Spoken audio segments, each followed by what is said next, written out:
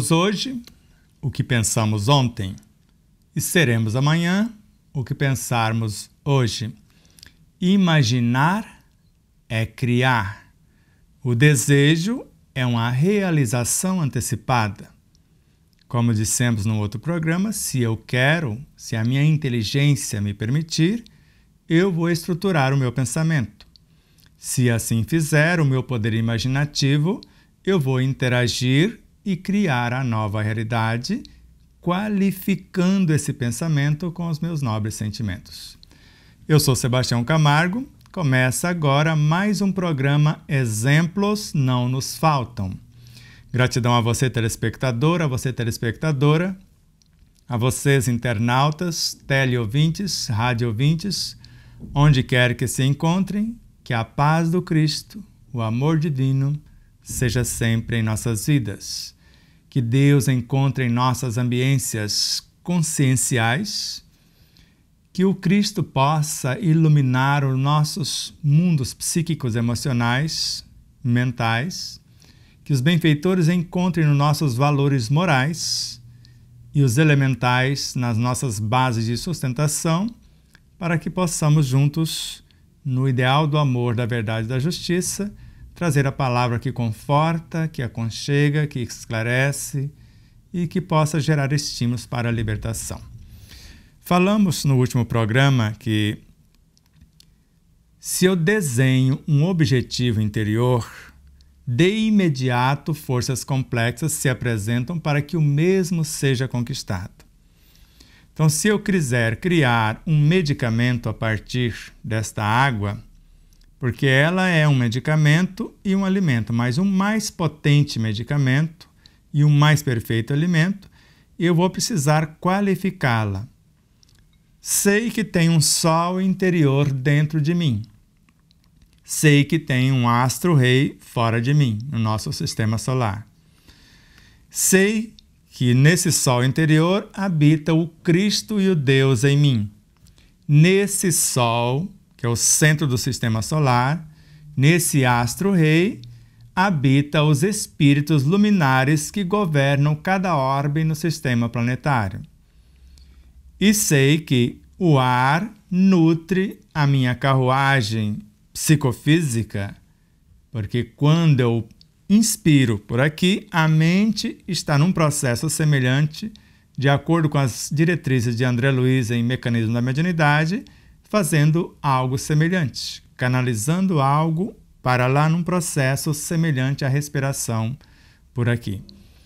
Então, se eu sei que o ar tem esse poder, e conforme Miramês, nesta obra, o ar é um medianeiro de qualidades indescritíveis, porque ele vai trazer toda a essência da natureza e principalmente a luz do sol. Então, ele traz em si a essência da luz e todos os substratos ofertados pela natureza. Então, ele já nutre em mais de 70% fisiopsiquicamente e até emocional e mentalmente o que nós precisamos para sobreviver.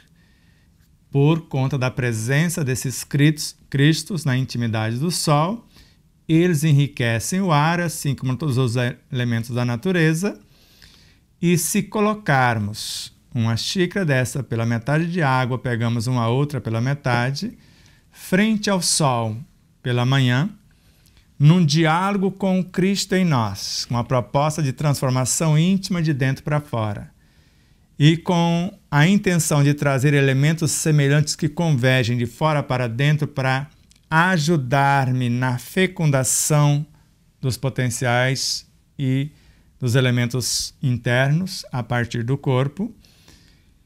A cada vez que eu troco a água de um copo para o outro, os raios do sol atravessam a minha água, os raios, né, as rajadas de vento também, e vai imantando a minha água com tudo que o ar traz como medianeiro de qualidades indescritíveis e com tudo que o sol está trazendo também na direção desta água do Cristo, do Deus, do Evangelho internos, está vindo imanências semelhantes desses Cristos e dos seus Evangelhos internos estão vindo outras realidades. Eu vou imantando essa água e, simultaneamente, imantando toda a água do meu corpo, porque eu estou pensando, eu estou sentindo, eu estou desejando. E assim que termina a qualificação da água que está fora, igualmente, conforme Kardec no Livro dos Médios, toda a água do meu corpo foi requalificada também. Então, os mesmos elementos que foram colocados nesta água estão presentes em toda a água do meu corpo. E se eu mentalizar ir além, em toda a água das minhas caixas, da residência, da água do quarteirão, das vizinhanças, do bairro, da cidade, do estado, do país, do planeta. E depois vai ao infinito. Está entendendo? Então, o ar quando atinge o nosso campo vibracional, que só o enriquecido pelos bons sentimentos do coração cria um campo de 5 metros em torno do corpo físico. Quando esse ar atinge esse campo vibracional, ele é ressignificado segundo os sentimentos que estão vicejando por aqui. Se sentimentos perturbadores já o perturbam e ele se transforma num veneno lento, segundo Miramês ou potencializado, filtrado, enriquecido, se transformando num potentíssimo medicamento, assim como a água. Após fazer isso, nós podemos usar a água para uma medicação em si, como uma medicação, podemos usá-la para a confecção do nosso alimento, para regar uma plantinha, para dar para o nosso animalzinho de estimação, ou até colocar numa vasilha maior é, e, e multiplicar as possibilidades e até usar na higienização da casa. Doutor, o medicamento é sua, é seu. O substrato foi você que idealizou. Então, para que você é que definiu?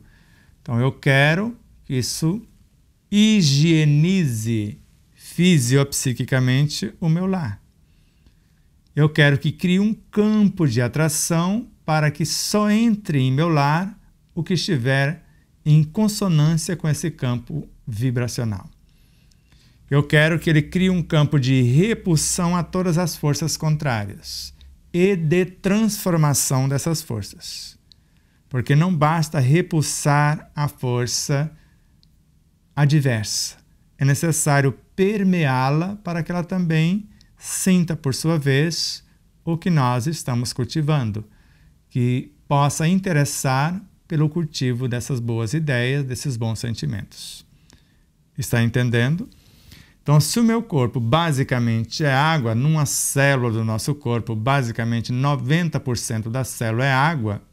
Então, quando eu estou trazendo água para dentro do corpo, eu estou enriquecendo os materiais componentes das minhas células só pela água em mais ou menos 90% e pelo ar que respiramos, trazemos o ar canalizado pelas narinas, filtrado, aquecido, umedecido, filtrado por, pelos pelinhos dentro das narinas, aquecido e umedecido pela mucosa no interior das narinas e pelos sensores sutilíssimos que tem nessa direção, que eles são psíquicos emocionais, e eles vão canalizar energias pela respiração para pacificar a ansiedade, por exemplo, a insegurança, já carreiam diretamente para o mundo psíquico emocional, para pacificar os elementos de lá, segundo Yogananda e Miramês e também Emmanuel.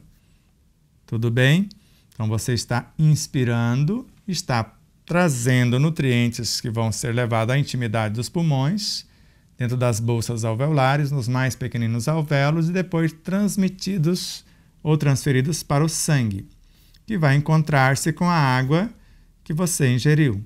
Então, agora o ar que você respira, os elementos da água, vão mergulhar-se na corrente sanguínea e, mais exatamente, no plasma, também nas hemácias, porque nós estamos trazendo elementos nutridores que enriquecem o plasma, e elementos que vão servir de combustíveis para a desintegração do que comemos, das forças vitalizadoras que extraímos dos alimentos, para que haja combustão na intimidade das mitocôndrias no interior de nossas células para ser fracionado essa glicose e transformada para o futuro em moléculas de proteína.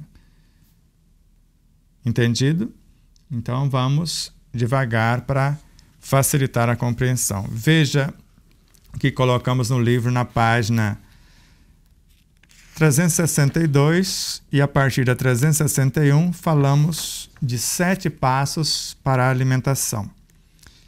E aqui, no segundo item que fala da alimentação, o primeiro fala exatamente assim: O que é prestar atenção aos alimentos?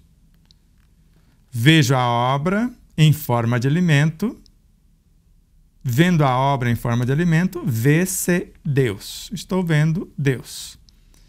A energia condensada é a mais simples manifestação do seu amor. Observando o amor manifestado em forma de alimento, pode-se sentir e compreender a essência e a grandeza de sua bondade, a bondade divina. Percebe-se que o micro contém o macro e tudo é cópia de tudo porque nesses pequeninos elementos ou alimentos está todas as informações do macrocosmo e tudo é cópia de tudo, porque há em cada partícula a representação do todo.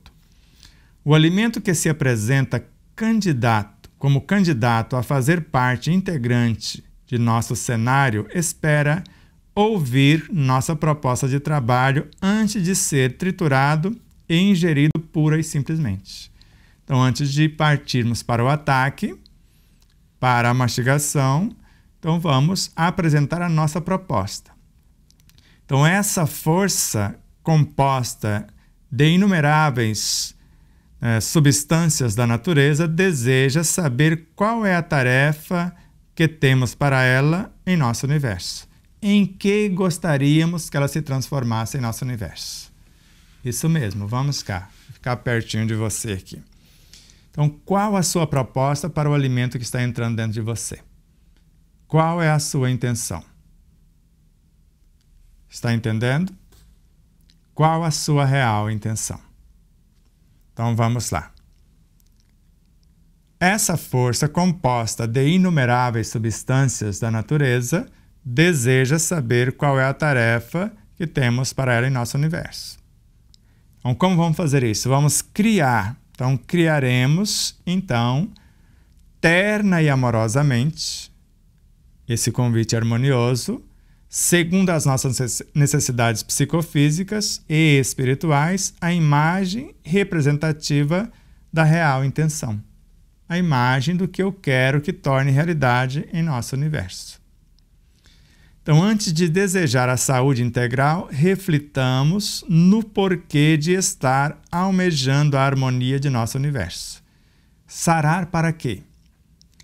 Imaginaremos como será o nosso comportamento após a alimentação e a reorganização da saúde.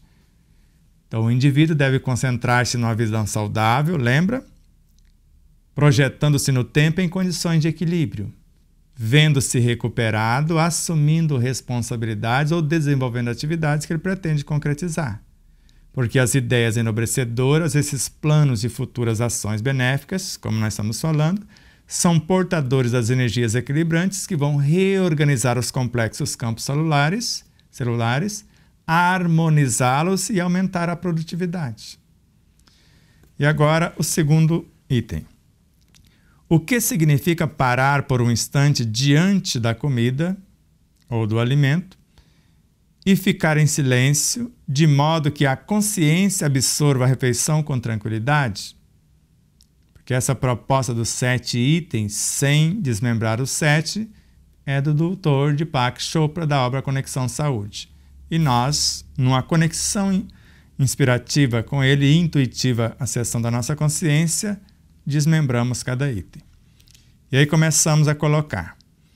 Podemos nos alimentar sem precisar triturar e ingerir os alimentos, fazendo-o pela mente, pelos olhos e demais sentidos, dispensando o sistema digestivo. Porque a nossa consciência está em conexão com a consciência dos alimentos, dos elementais, dos agentes da natureza. Já é um fato. Os nossos sentimentos estão interagindo e permutando. Então, pensamentos, sentimentos, ideias, tudo que nós criarmos, nós estamos interagindo para aquilo que nós estamos observando. Então, a possibilidade da alimentação por meio da consciência é formidável, porque nós nos alimentamos com os olhos, com o pensamento, com a respiração, com o banho, com a boa leitura, com a boa música, com as orações. Isso são fatos. Então, antes da ingestão dos alimentos, temos a oportunidade de acessar a essência da consciência dos mesmos e absorvê-la diretamente sem matar a forma. Porque quando eu penso que estou alimentando, eu estou criando a realidade. Isso é André Luiz, é Emmanuel, é Miramês e vários outros. Então, imaginar é criar. Então, eu estou imaginando comendo alguma coisa. Eu estou criando a realidade daquilo que eu estou imaginando. Por isso que assim que começamos a imaginar, as enzimas começam a ser fabricadas pelas glândulas salivares. E a nossa boca normalmente vai se encher dessa saliva porque nós estamos pensando em tal coisa. Então vamos continuar aqui. Então, como faremos isso? Vimos com Emmanuel, com Emmanuel que imaginar é criar. E com André Luiz, com Miramês, desejar é realizar. Então, desse modo, podemos criar esses elementos em forma de alimentos ou de nutrientes, auxiliados pela vasta rede de potenciais de progresso e sublimação existente em nossa mente, na consciência, no Cristo em nós. Nós desejamos e ela vai nos intuir de como fazer isto. Então, a ação da consciência na alteração da matéria mental, regida pelo amor, como lei de atração, é evidente. Agora paramos para estudar esse trecho, que está mais né, é, complexo a informação nele, embora estando clara. Então, a ação da consciência. Quem é a consciência? A superconsciência, o reino de Deus em nós. Então, nós vamos ver a ação da consciência na alteração da matéria mental. A mente é uma emanação dessa consciência. E os pensamentos são personificações dessa consciência. Então, agora está trazendo para o pensamento, para a mente, em forma de pensamento, esse energismo. Então, a ação da consciência na alteração da matéria mental, agora regida pelo amor, pelas virtudes. Então, trouxe o substrato que transformou-se, personificou-se como capacidade criativa, que é o pensamento, e ao mesmo tempo o sentimento que vai criar, que vai edificar, que vai alimentar, que vai iluminar, vem junto para dar diretrizes a esse pensamento, que é regido pelo amor, que é essa expressão. E o amor como lei de atração é evidente porque a lei de atração vai atrair esses elementos para a confecção daquilo que nós pretendemos. Lembra, no ápice da vontade, essas forças se transformam na atração e a atração se faz amor. Então, criar esses elementos promotores da saúde integral e combiná-los com os nutrientes psíquicos existentes nos alimentos que se encontram à mesa significa exercer o nosso papel de co-criadores conscientes ante essa fonte inesgotável, interna e externa, à nossa disposição. Então, agora agir com ciência daquilo que estamos fazendo. Como é isso? Nós vamos criar os alimentos promotores da nossa saúde integral, que é psico, emocional, mental, moral, espiritual, perispiritual e física.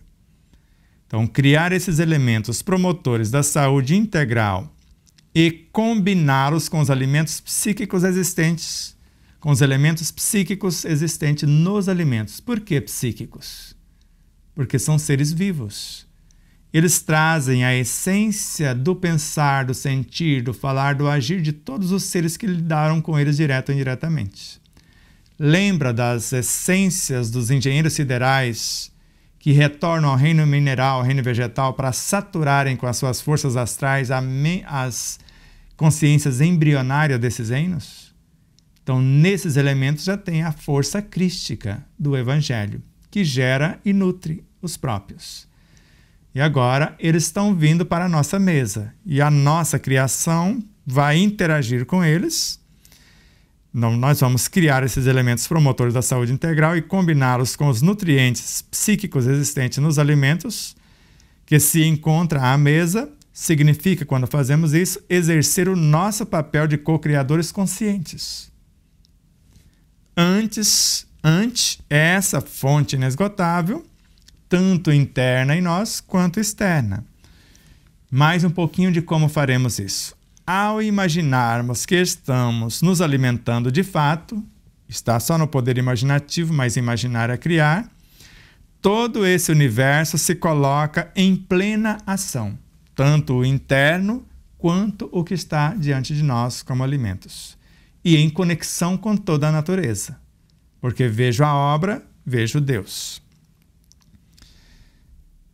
O nosso universo interno fornece todas as substâncias essenciais à construção do projeto almejado, construir o projeto de dentro para fora. E mediante as lúcidas ilações de Joana de Ângeles, desenhado o objetivo interior com o meu potencial, de imediato forças complexas se apresentam para que o mesmo seja conquistado.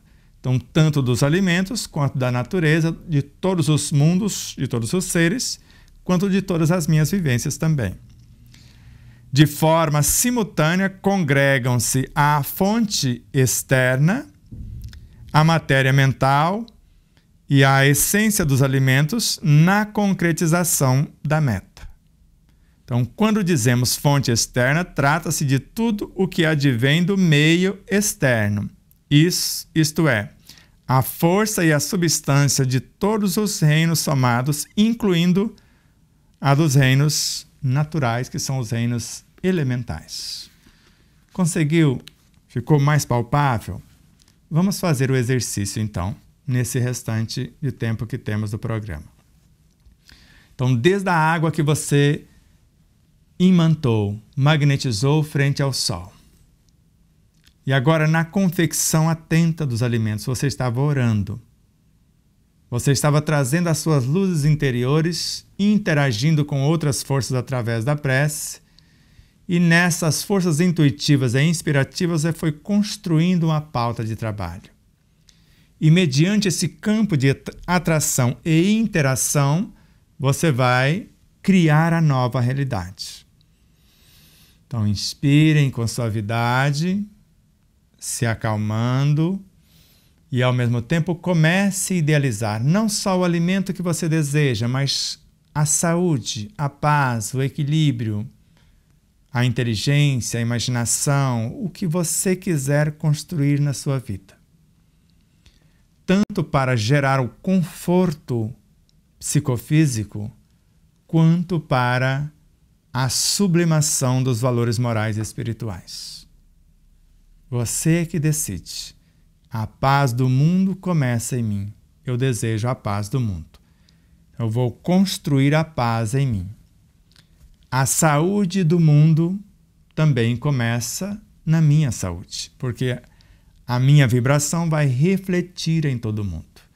O respeito à vida e às leis começa em mim. E eu que estou estudando, estou conhecendo tudo isso. E nós vamos transferir tudo isso, porque a mensagem do médium, do profeta ou do vidente, ela é endereçada à consciência, ao centro consciencial do ser manifestado. Está aqui com Ramatiz da obra Jesus é a Jerusalém Renovada, desta obra aqui. Então, a mensagem do profeta, aquele que prevê um acontecimento baseado em fatos, em experiências. Do médio, do que vai intermediar os recursos para fazer acontecer. E do vidente, aquele que está na cena, vendo acontecer. Então, a mensagem do profeta, do médium ou do vidente, ela é endereçada à essência que adormece no centro consciencial do ser manifestado, que é a alma, seja qual for o seu grau de evolução aparente. Eu posso ser um pária ou ser um mestre. Vai funcionar ou funciona como toques energéticos capazes de provocar pequenas reações e sejam elas conscientizadas ou não por nossas almas ou a quem estamos direcionando, gravam-se na contextura profunda do ser vivente como pequenos reforços vibratórios capazes de futuramente influir na eclosão do potencial ignorado em repouso no recesso profundo do ser. Então é assim que funciona se você quer direcionar tanto para os alimentos quanto para qualquer ser à sua volta. Está entendendo? Não é tão difícil. Agora é necessário estudar, compreender, discernir, experimentar, vivenciar, se tornar a mensagem que apregoamos. Não é difícil. É possível. Tudo é possível àquele que crê que compreende através do estudo e vivencia o conhecimento. Inspira, deseje a aquisição desse conhecimento. Então, luzes vão fulgurar da sua essência para iluminar e fecundar a tua mente, de dentro para fora, da sua intuição e outras tantas de alguém que está nos observando e se interessa pelo nosso crescimento, estão vindo de fora para dentro pelas inspirações. E esta fusão de informações intuitivas e inspirativas, nós vamos pensar na verdade, sentir o que estamos pensando, falar o que estamos sentindo e viver o que nós estamos falando. Um grande abraço a você, muito obrigado, muita paz, muita luz e até o próximo programa. Namastê.